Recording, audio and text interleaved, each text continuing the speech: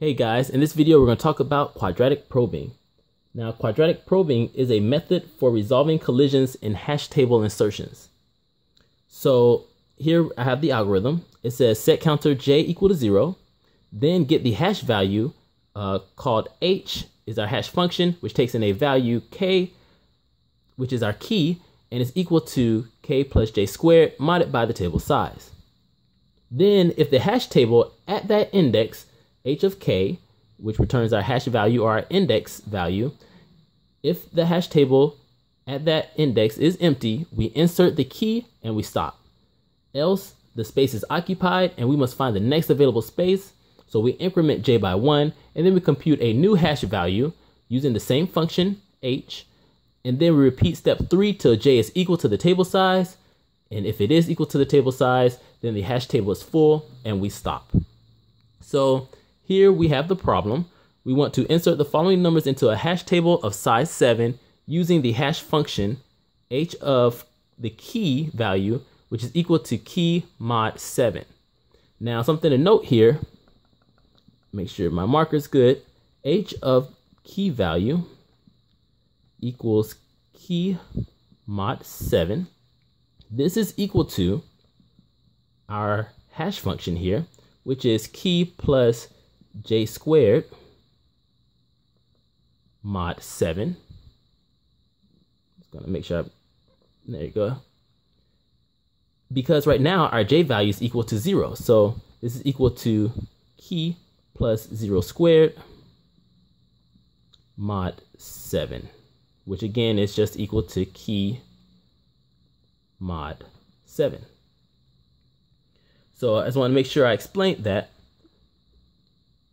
And now what we're going to do is we're going to go ahead and insert these numbers here, these values or keys into our hash table. So I'm going to go ahead and create the hash table. It's a hash table of size 7. And here we go. So it's going to be index 0 to 6. So 1, 2, 3, 4, Make this a little bit bigger so I can write my value in there. Five, six. Okay, so to start off, we get the value 76 that we want to insert into this hash table. So we get 76, uh, I'm going to use the hash function. h of 76 is equal to 76 mod 7, which gives us the value 6. So at index 6, we insert 76. All right. Next up, we get uh, 40 we want to insert. So we put that into our hash function. We get 40 mod 7, which gives us the value 5. So in index 5, we put the value 40. Alrighty, moving along here. We got uh, we get to 48. We want to insert 48 into our hash table. We use the hash function 48 mod 7, and 48 mod 7, I believe this gives us the value 6. So now we have what's called a collision. Two different keys mapping to the same index value. So what we need to do is use our quadratic probing al algorithm here. So what we do is we now increase our j value. So Again, we have h of 48 is equal to 48 plus, now we get 1 squared mod 7, and this gives us 0, or 49 mod 7, which is 0. So in index 0, I put the value 48.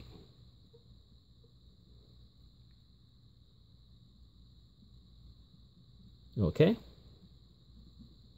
Now we want to insert the value 5 into our hash table. So using the same hash function, put 5.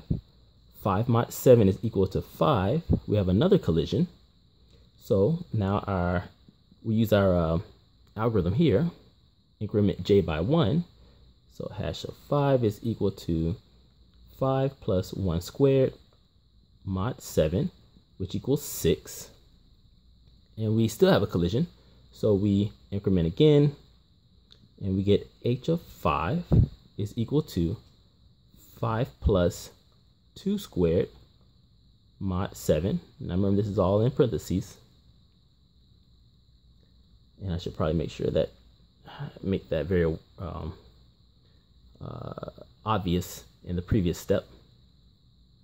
So this is going to equal, let's see, 2 squared is 4, so it's going to equal 9 mod 7, which gives us 2.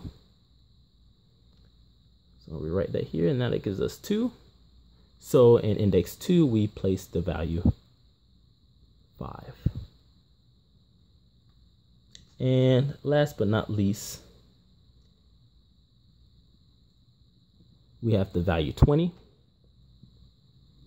And we use the hash function, so we get 20 mod 7, which is equal to, um, if I'm doing my math correctly again, 6. And we get another collision. So, of course, we use our algorithm there. h of 20 is equal to 20 plus 1 squared mod 7, which gives us 21 mod 7, which equals 0. And that's already taken. So again, we're going to increment our i value.